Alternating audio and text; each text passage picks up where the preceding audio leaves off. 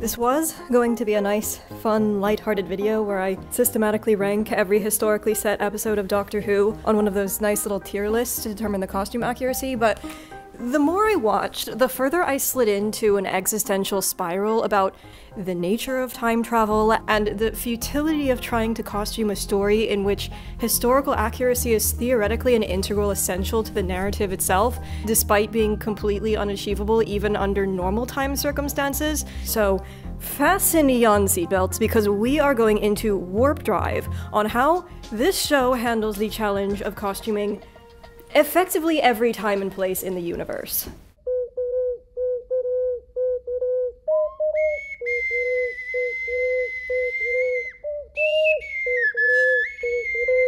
Time travel makes my head hurt for a whole host of narrative reasons, but not least in the costume department, because theoretically the story is claiming to depict what this actual time period would have looked like in actual reality.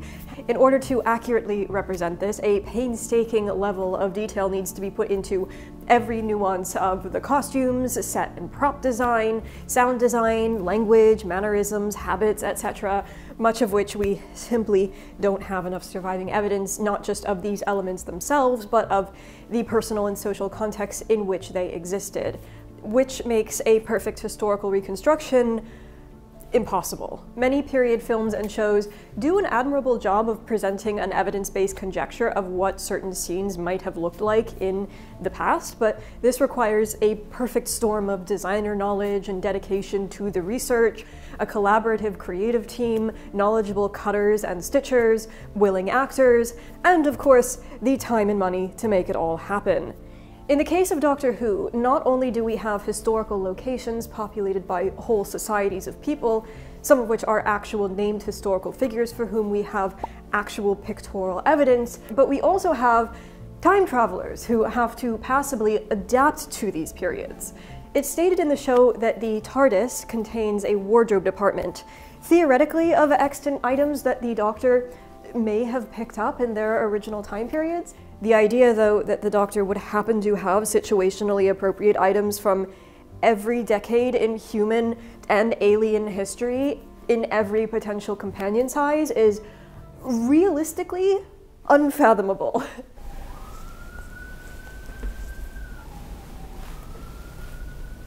so a bit of canonical inaccuracy in the companion dress would actually be believable if the story didn't also give us other methods of in-world disguise.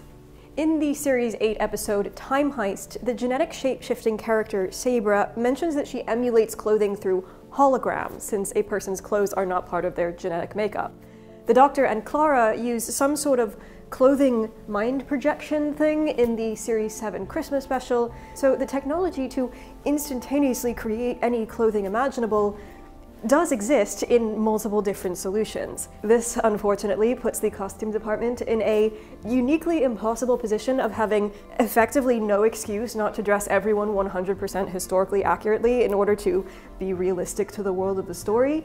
And we can't forget that this is not just a show about historical time travel, but literally all of time, space, and fiction is up for grabs. None of the episodes, I would say, present a truly tis peak level of evidence-based hypothesis of what any given period might have looked like in real life. But neither are most of the costumes distractingly anachronistic.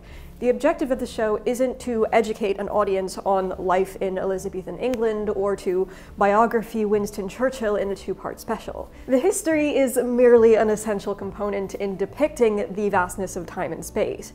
What this show does have to do well is A, at the very least, not make the costumes so outrageously costumey that the viewer can't suspend the time travel belief, but ideally, B, build a visual language that allows for the realistic accommodation of the concessions that have to be made for budget. And of course, cast size, stunt doubling, and the ever-present challenge of Thai TV scheduling. I expect that the historical costumes would have to take a financial backseat to the sci-fi elements, since you can go to a costume hire house and hire out reasonably decent historical garments pre-made, which incidentally might explain why a lot of the late Victorian and Elizabethan dress in the show is actually reasonably decent. You can't exactly hire out the very specific styles of the High Council of Time Lords or the Cybermen or the Silurians. These would have to be designed and built from scratch, which is a decidedly larger time and money expense than what is required of a rental. But we do get to see the direct effects of budget and resource increases as the show gained popularity over the years. Take, for example, the very first historically set episode of the revival. Rose is not only dressed in something that is actually more steampunk slash early 2000s goth than anything even remotely Victorian. By series two, it seems like we're starting to see one really big historically set episode per series, with around three to four historical episodes per series up to series five six in Series 6, and a whopping 9 out of the 16 episodes in Series 7. In terms of the costume design for the show, though, I've broken this down into three essential categories Earth's timeline in our reality, fictional species, and extraterrestrial cultures. Finally, we have the time travelers, for whom the rules of dress defining the previous two categories may be in flux. So the first and arguably the most straightforward classification of character is the Earthlings, both past and present. For present day Earthlings, this basically means deciding what stores a person is likely to shop from and using those clothes to convey aspects of their personality, their style preferences, their economic means. When we first meet Rose, for example, we can tell almost instantly that she is a young woman with an eye for the fashion trends popular to the early 2000s, and despite her and her mother's tight economical circumstances, Rose presumably has access to the latest styles at a discount through her job at a department store. Her mother, Jackie Tyler, on the other hand, is dressed in, and I direct quote, bargain bucket stores in the high street and reduced to clear stuff, but in similar pinks and sparkles that Rose might wear, which is, of course, fitting with her character in that her style choices are a bit younger than her years. Kate Stewart, on the other hand, epitomizes her official leadership role as head of unified intelligence with her outfit choices, which, at least on surface level, appear perfectly professional. She's got the business casual blazers and the slacks that signify her as a figure of authority in a highly funded agency, but she manages a simplicity and ease of movement in her outfits by opting for flat shoes and non-restrictive tops, and she limits her accessorizing in a way that allows her to be prepared for even the most unexpected of alien emergencies. And of course, for another example, we have Dr. Eustachius Jericho's choice of earthy tweed blazers, waistcoats, and round horn-rimmed glasses, all of which he still wears fully layered and with nary a button or a tie loosened well into the wee hours of the night, which paints him as this enthusiastic academic, unwaveringly dedicated to his research. These are all small but essential aspects of character which can be efficiently conveyed through first glance without having to spend additional time in the writing, thanks of course to the costume choices.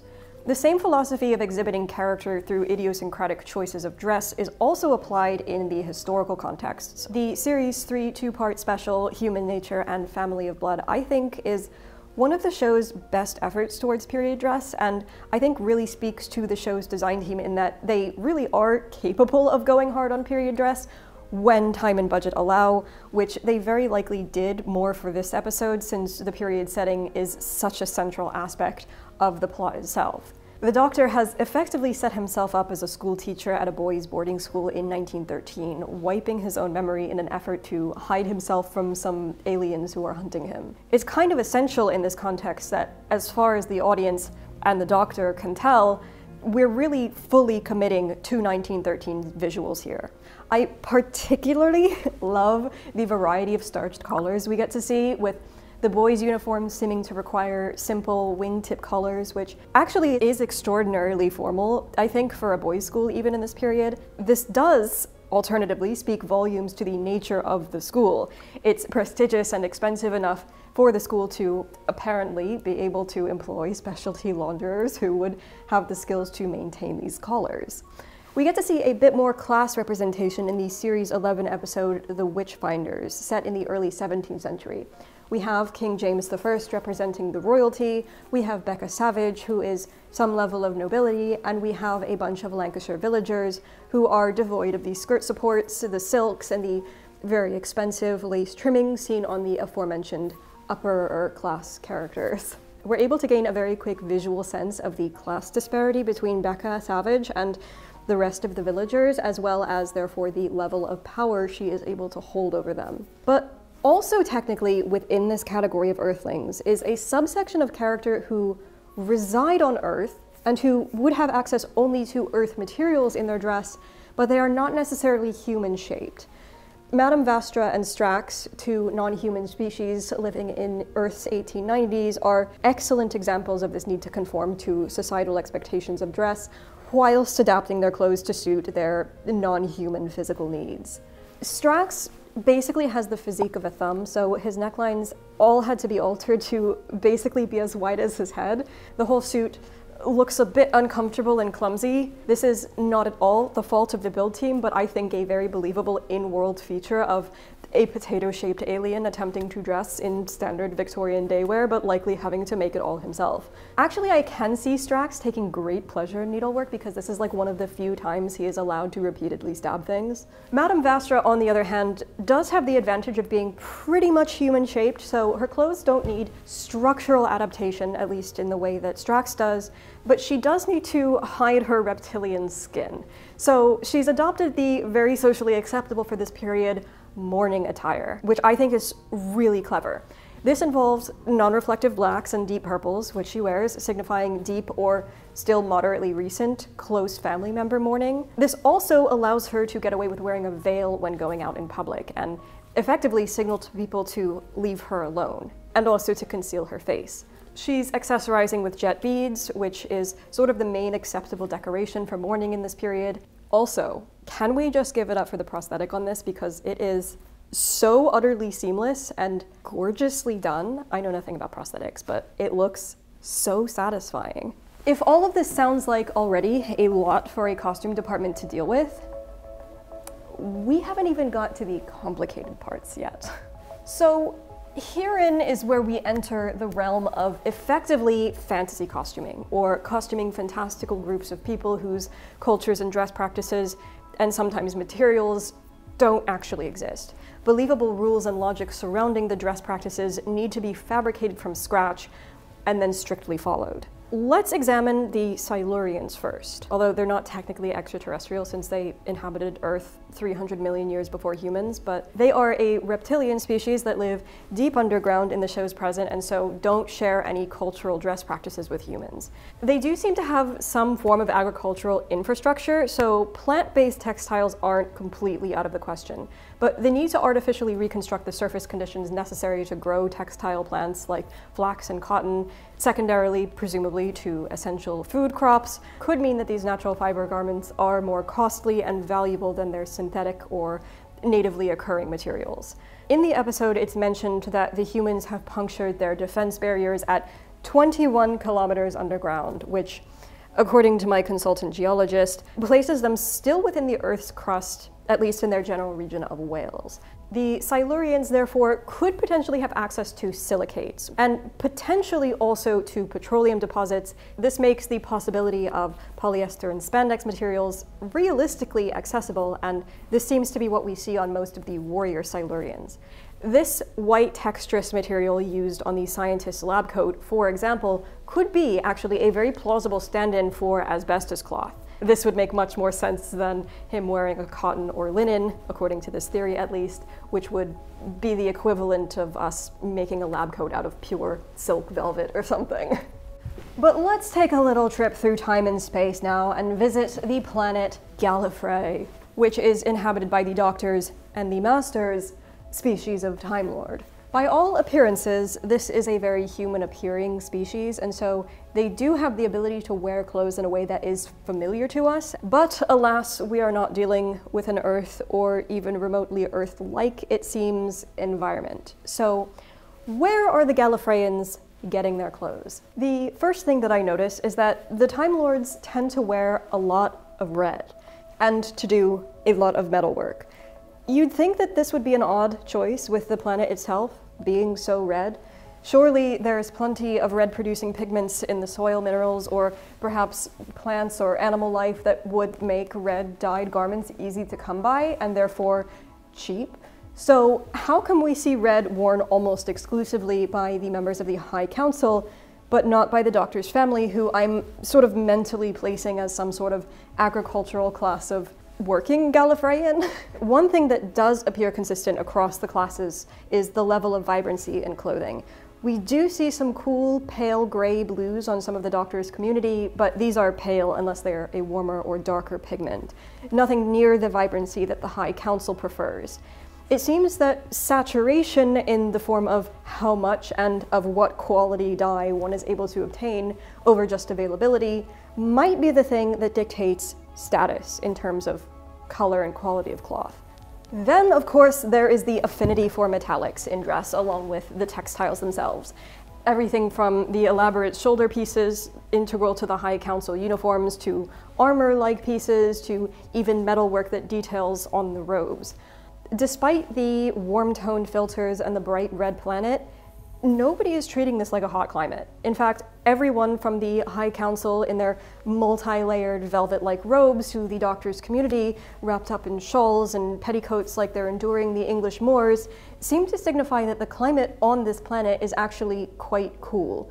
It's curious Therefore, that the Doctor arrives at the beginning of the Series 9 episode Hell-Bent and immediately takes his jacket off as if he's trekking through the high desert. I'm hypothesizing that there's a significant importance of layering in Gallifreyan culture.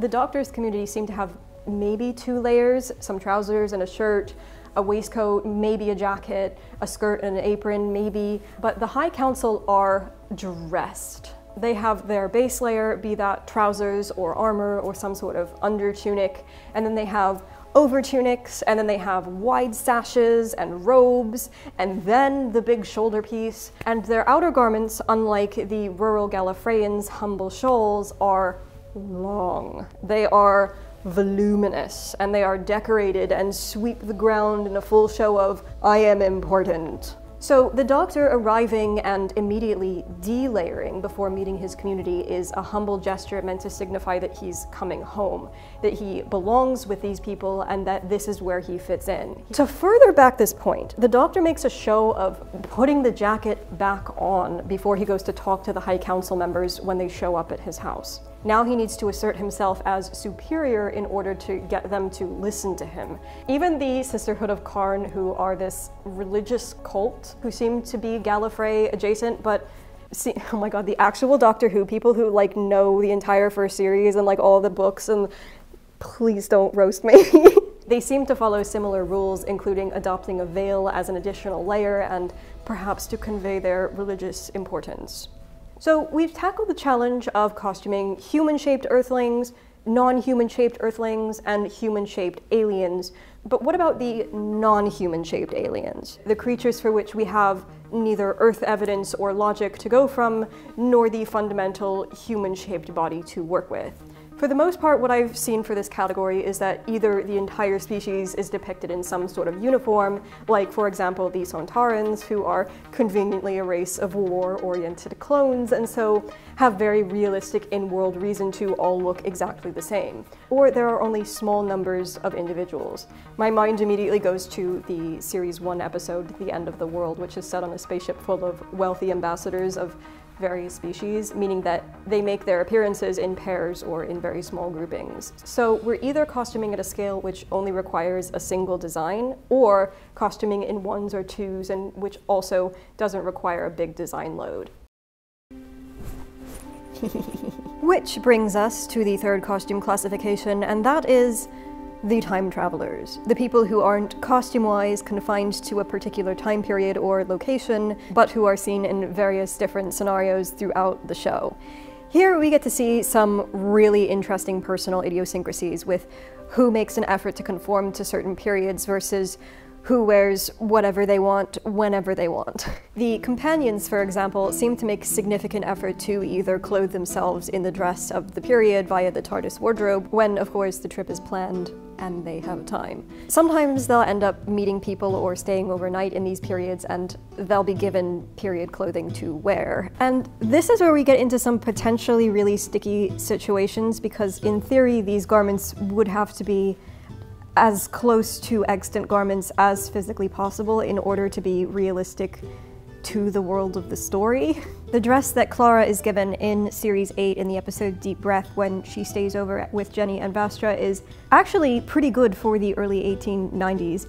It's a bit bustly in the fashion of the 1880s, but plausible, of course, as something that could have existed lying around in a wardrobe for a few years before she borrowed it. But even within the companions, there is varying level of commitment to period accuracy. Donna, when she stays in Pompeii in the Series 4 episode, The Fires of Pompeii, is much further from even a hypothesized depiction of ancient Roman reality, which I struggle to find an in-world justification for. There are, of course, occasions where the trip is unplanned or is so rushed that there isn't time to realistically be changing clothes to blend in, which is a handy choice, both realistic to the narrative and serves to save a bit of time and budget. The more seasoned time travelers, however, for the most part, seem to just wear whatever they want regardless of the time period, unless they're on a long-term stay, which requires blending in. The Doctor, for the most part, has their resolutely 21st century uniform, which is seldom swapped out for other periods.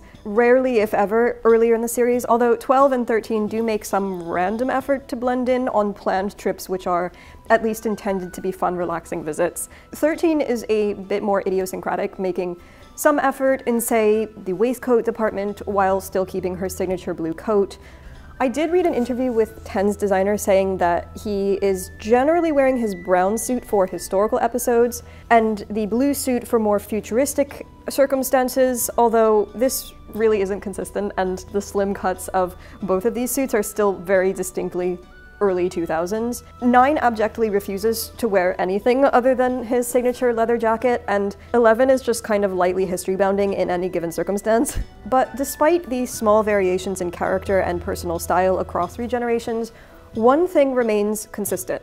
The Doctor dresses how they want, regardless of the situation. Little ears! Look at the little ears!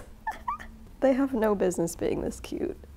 We don't often encounter time agent Jack Harkness in historical circumstances, but when we first meet him in the Series 1 episode, The Empty Child, he's posing as a World War II officer and is very much dressed the part.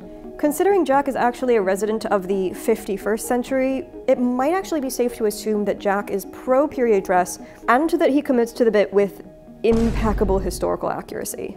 The Doctor's half-Time Lord wife, River Song, on the other hand, seems to vaguely try and make an effort, but there's always something about her clothes that is still subtly or blatantly anachronistic. There's always something in the fit or the material or especially her cosmetic styling that keeps her whole look feeling distinctly modern. That is stylistically more appropriate to the 21st Earth century. In fitting with her character, River treats her adventures like a chance to dress up and have a bit of fun. The period in question coming second or, I don't know, like fifth to her own personal comfort and taste. And then there's the master. No, but listen.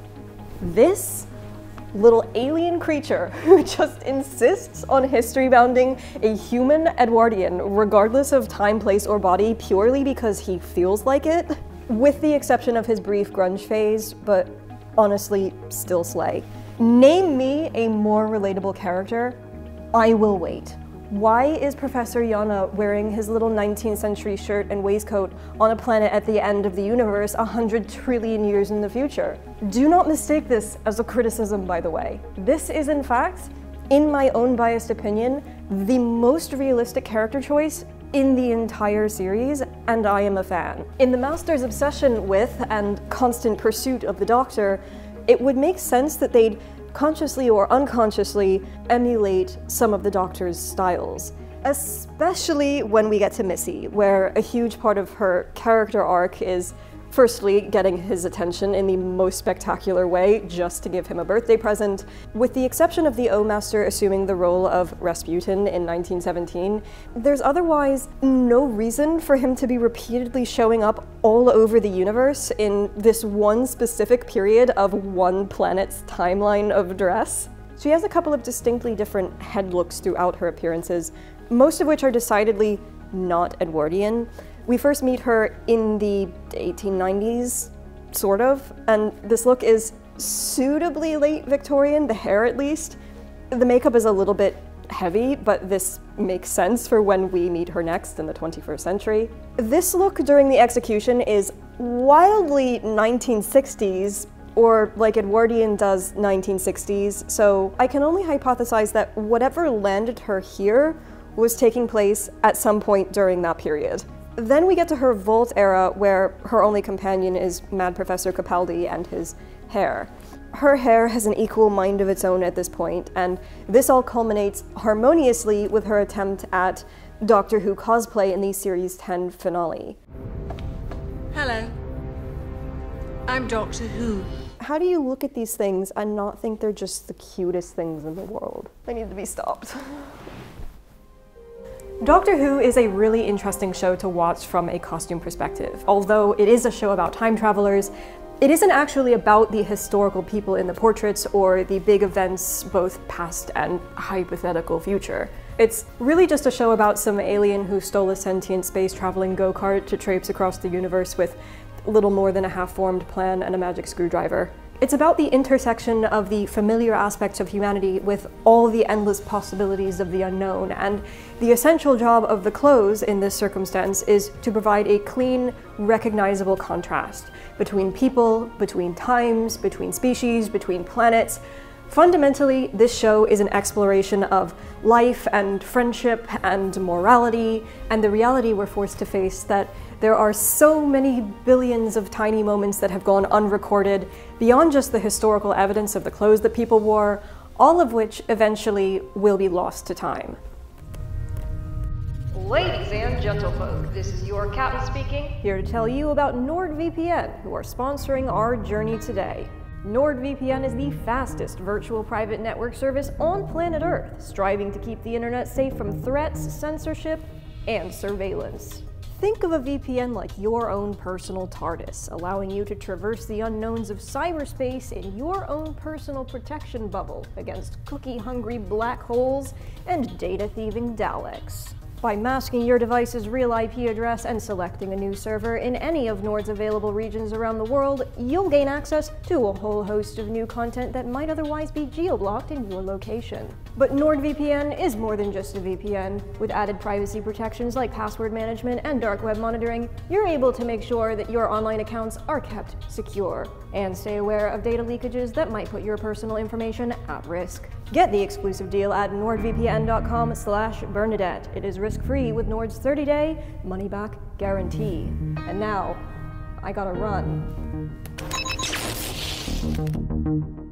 Don't forget to like this video if you liked, subscribe for more of my time-traveling antics, and say something nice in the comments. Come on, Handles. Let's go!